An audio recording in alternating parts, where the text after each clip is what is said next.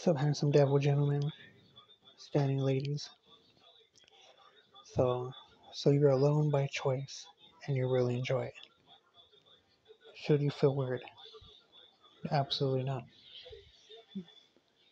So I'm guessing you probably need a break from people, maybe some friends, maybe some family, maybe just society in general. So, so one thing is that not everybody can be alone. Not everybody feels comfortable being alone. So that's just the way it is. So when you tell people that you really uh, you enjoy your time alone, some people might be like, "Oh, that's cool," but then and, and other people will look at you as being weird, as oh, well, it's kind of well, don't you want to be around? No.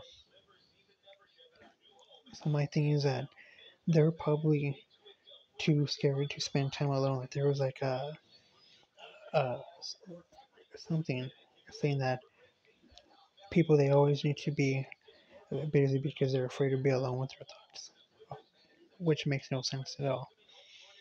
Because I mean, that's some way you get some of your best ideas and whatnot. So um, so you're being alone right now.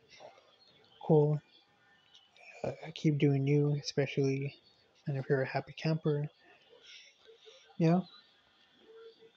So I mean, the reality is that some people won't understand it, and so in my opinion, it's very healthy to spend alone time with yourself, so you get to know yourself. And not only that, but you can be better company to other people, so you won't uh, say things where you're pressing too hard. You're you, you won't be saying things that don't match your personality. You will be extremely comfortable with who you are, and you will not feel needy to where you have to put on some persona to have a certain type of individ- uh, individual be your friend, or you have to hang around some group, or, or, or where you feel like you have to act a certain way. So no. So if you're cool, so you feel comfortable, and most of all you feel happy. I mean, you do you. Keep doing you. But I know exactly how you feel, and you are not alone. So do not think you're weird. Do not think anything negative about it.